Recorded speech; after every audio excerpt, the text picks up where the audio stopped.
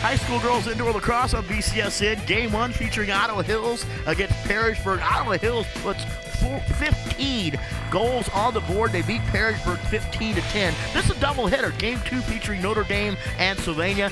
Notre Dame, they played well. 17 to 1 the final. Notre Dame beat Sylvania indoor lacrosse from Camo Center exclusively on BCSN.